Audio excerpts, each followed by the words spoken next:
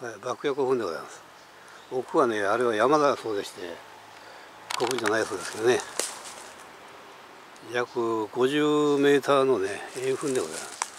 高さがどれぐらいのか下からやったら1 5 6メーターあるのかねこれ。結構高いでしょこの中にね石棺がありますのでね。石棺見てみましょう。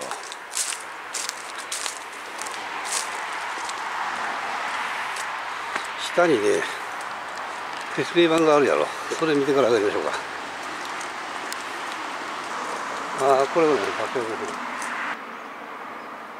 はい行きましょう。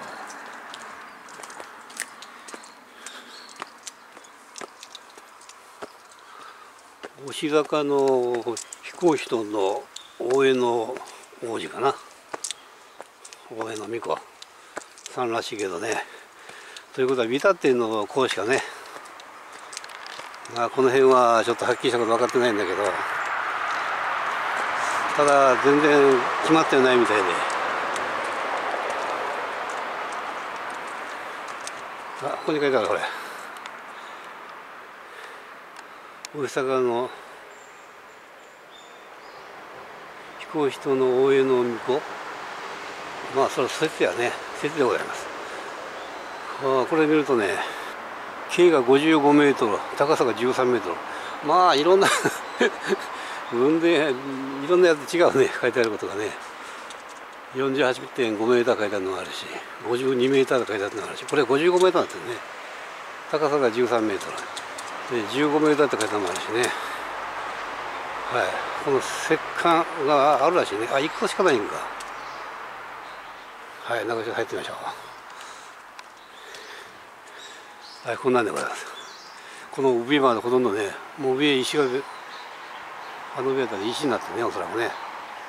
だからもう土が流れてますね上はね。はい、はい、入ってみましょう。真っ暗でございます。おこれ階段があるのか。はい階段がある。はいしょ。はいはいはい。真っ暗だよね。ほら大きいねこれ。石ものすごく大きいけどね。えーと6世紀のえ7世紀？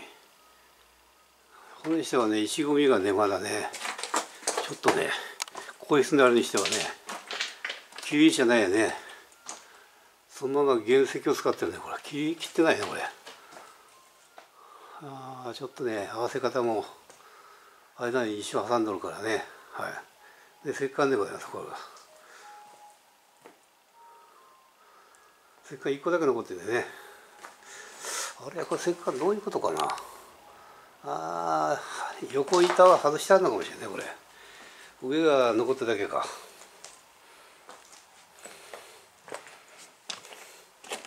これ小さい方やな。本当はもっと大きいのが手前あったのかもしれんね。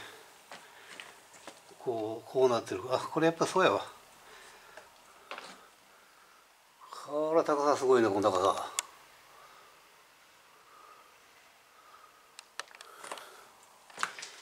まあそうでございます。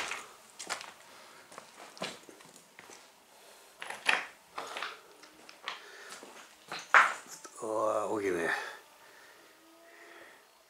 文殊院のねあの西古墳があるんだけどね。あれ昨日ちょっと見たんだけど。まあ綺麗な切り石で。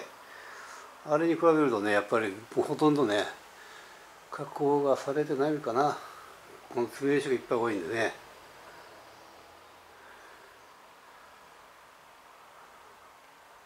まあ大きな石を使ってますけどね。はい。まだね決定されてないみたいで。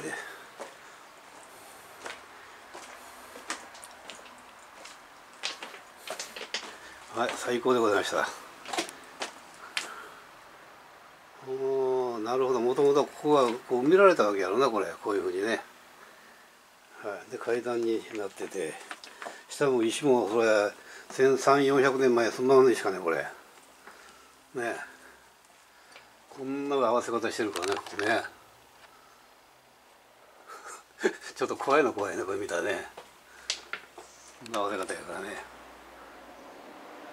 ああすごいやっぱり。大変でしたねこれ。組み立てるの自分で組むのが。